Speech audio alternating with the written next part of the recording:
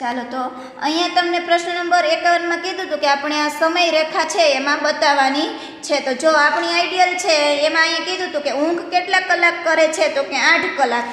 એટલે આપણે અહીંયા આઠ ખાનામાં શું કરવાનું છે?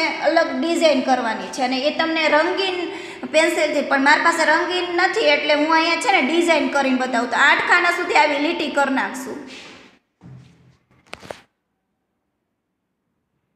બે ખાનામાં કઈ રહ્યા ત્રીજા ખાનામાં, આ ચોથામાં, પાંચમામાં, છઠ્ઠામાં, સાત અને આઠ. આ રીતે આઠ ખાના સુધી આવી લીટી. પછી તમને એમ કીધું હતું કે રમવામાં.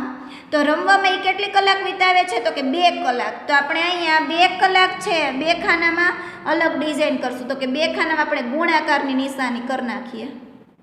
કેમ કે રંગીન પેન્સિલથી કીધું, પણ આપણી પાસે ન હોય તમે પણ ડિઝાઇન કરી શકો છો. પછી અહીંયા કીધું છે કે શાળામાં કેટલી કલાક વિતાવે? અભ્યાસમાં તો કે છ કલાક. કેટલી? છ કલાક. આપણે છ ખાનામાં આપણે વરી પાછી નિશાની કરશું. તો કે આપણે રાઉન્ડ રાઉન્ડ કરી દેશું. છ ખાના સુધી આવા રાઉન્ડ.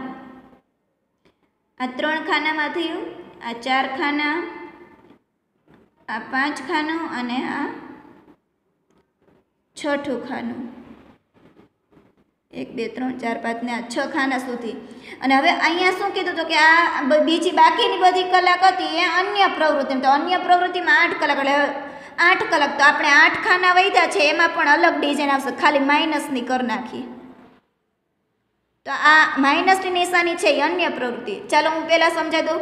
આ પેલી ઊભી લીટી છે એ ઊંઘવા માટે, પછી આ બીજા બે ખાના ગુણાકારની નિશાની કરી, રમવામાં અને આ રાઉન્ડ રાઉન્ડ કર્યા, એ શાળા અને અભ્યાસમાં અને માઇનસ છે એ અન્ય પ્રવૃત્તિમાં સમય વિતાવે છે.